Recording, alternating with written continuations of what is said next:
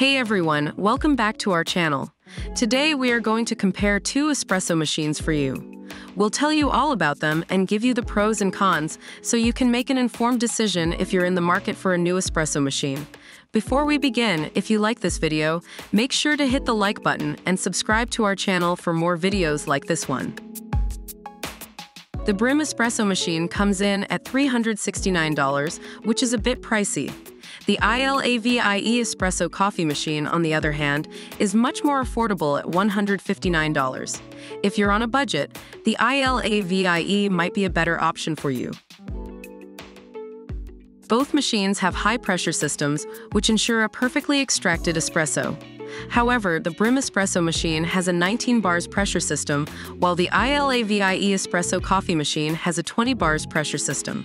This means you might get a slightly richer and creamier espresso with the ILAVIE.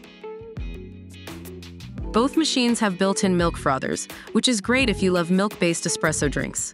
However, the Brim espresso machine has a microfoam wand that creates a texturized microfoam, while the ILAVIE has a stainless steel frother that can create both hot steam and hot water. If you're a fan of latte art, the Brim is the better option. The ILAVIE espresso coffee machine is easier to use than the Brim espresso machine. It has a one-press flow stop design that dispenses the perfect amount of espresso automatically. Meanwhile, the Brim requires a bit more finesse to get the perfect shot. So, if you're a beginner, the ILAVIE might be the better option. Both machines come with a variety of accessories. The Brim espresso machine includes a portafilter holder, different cup filters, a milk frothing pitcher, and more.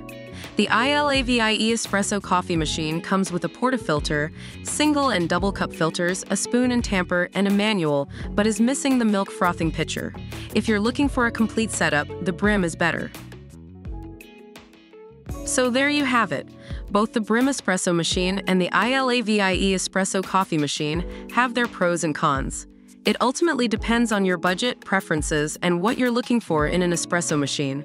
We hope this video was helpful to you. Don't forget to like this video and subscribe to our channel for more videos about all things coffee.